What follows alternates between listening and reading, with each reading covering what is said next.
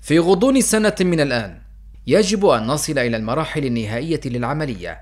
هكذا افتتح المبعوث الأممي إلى ليبيا غسان سلامة خطته الجديدة التي طرحها في اجتماع رفيع المستوى لحل الأزمة في ليبيا. إذا تأكد الأمر.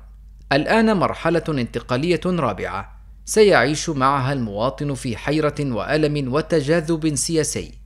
اجتماع رفيع المستوى برئاسة الأمين العام للأمم المتحدة أنطونيو غويتريس وبحضور رؤساء وفود الدول المشاركة في الجمعية العامة للأمم المتحدة.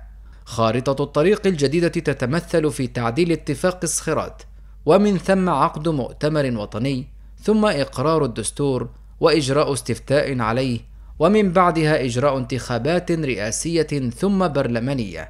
المبعوث الأممي سلامة أشار أيضا أن خارطة الطريق ستبدأ الأسبوع المقبل.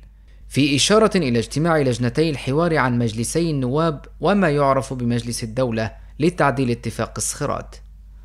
ودعا سلامة كذلك الهيئة الوطنية العليا للانتخابات إلى أن تكون مستعدة لإجراء الانتخابات في ليبيا مشددا على ضرورة اتخاذ التدابير الضرورية أيضا لمعالجة ملف النازحين والمهجرين.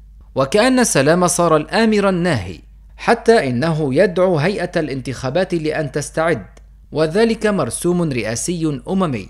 ويرى مراقبون أن تنامي الحرص الدولي من كلمات رؤساء الوفود وتسارع الخطوات لإنهاء الصراع الليبي جاء لسببين هما وقف تدفق الهجرة غير الشرعية إلى أوروبا عبر المتوسط والخوف من اتساع رقعة تنظيم الدولة من جديد بعد اندحاره في سرت ودرنا وصبراتا وفي ظل الصراعات والنزاعات الداخلية والخارجية على ليبيا ها هي الآن تقدم على خطة جديدة مفروضة عليهم من الأمم المتحدة لكن السؤال الذي يطرح نفسه الآن هل ستنجح الخطة الثانية في إنقاذ ما أفسدته الأولى؟